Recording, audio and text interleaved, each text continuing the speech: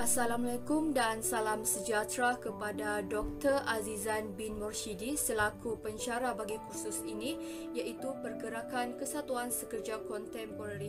Pada hari ini kumpulan kami akan membentangkan soalan tutorial 5 yang bertajuk Nyatakan Definisi Trade Union Renewal yang disediakan oleh Nur Farina binti Ali selaku ketua kami, Flora Janice Jacob, Rosma binti Sanir, Muhammad Nizam Firdaus bin Abdullah dan saya sendiri iaitu Nur Hikmah binti Idris. Seterusnya saya persilahkan rakan seperjuangan untuk memulakan pembentangan. Baiklah, kita akan masuk kepada bahagian pengenalan terlebih dahulu.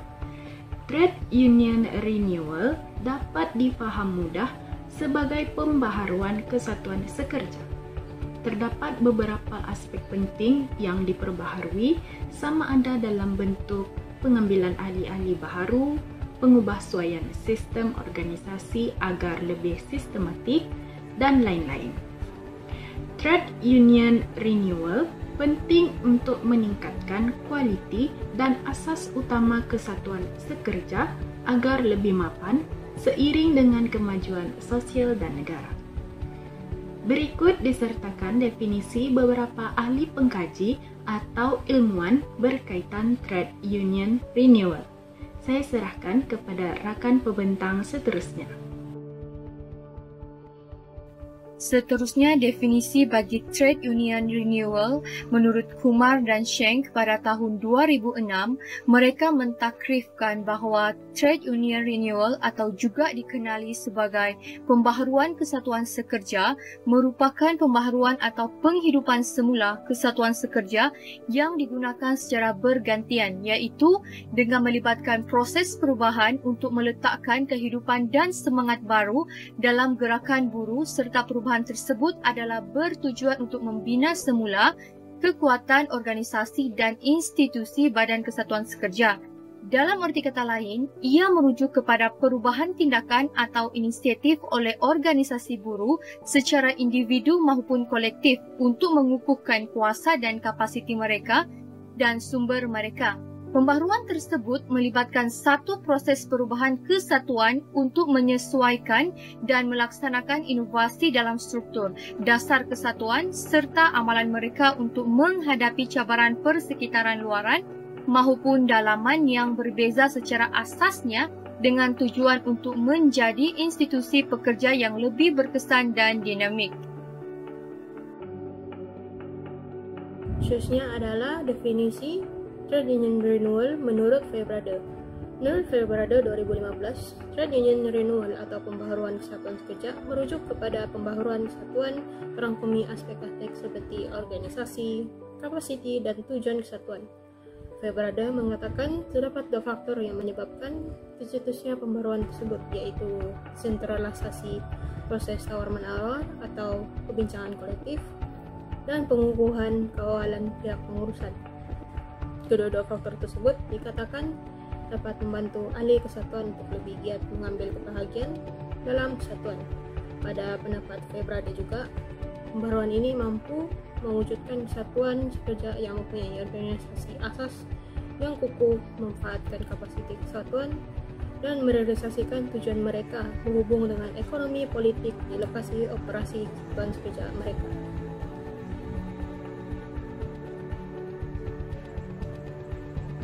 Menurut Jane Stinson dan Mona Valentine, Trade Union Renewal dapat ditakrifkan sebagai pembaharuan kesatuan sekerja untuk aktiviti yang bertujuan bagi mengaktifkan semula keahlian kesatuan sekerja dengan membawa masuk pekerja yang sebelum ini tidak teratur.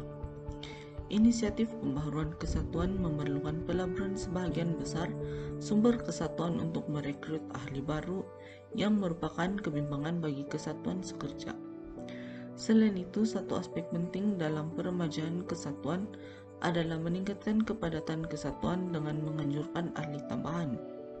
Walau bagaimanapun, peremajaan kesatuan sekerja juga harus merangkumi program dan dasar yang mengukuhkan kesatuan dalaman kesatuan dengan mengukuhkan hubungan kesatuan dengan ahli dan meluaskan penyertaan mereka dalam aktiviti kesatuan.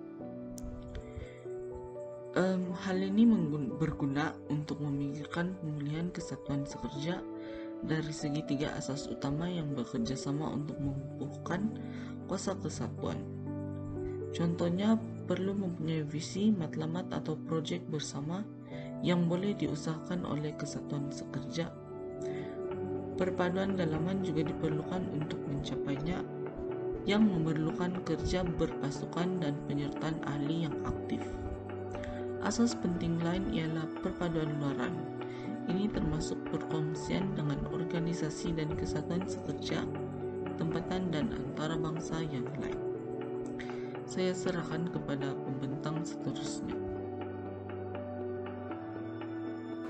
Faktor-faktor pembaharuan kesatuan sekerja Menurut Chaison pada tahun 1996, dorongan untuk pembaharuan kesatuan sekerja yang dilihat semakin mengecil adalah untuk meningkatkan kuasa tawar-menawar, menambah baik kecekapan organisasi, meningkatkan pengambilan ahli dan mengurangkan konflik di dalam kesatuan sekerja sekaligus menggunakan kuasa politik untuk berkembang dengan lebih besar.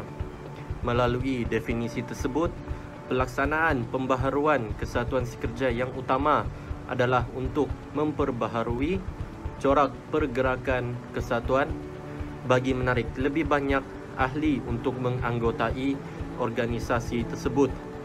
Oleh itu, beberapa pendekatan baharu perlu dilaksanakan oleh kesatuan sekerja bagi meraih sokongan pekerja untuk menjadi ahli dan seterusnya boleh bergerak dengan lebih maju untuk memperjuangkan matlamat mereka untuk ahli-ahli mereka.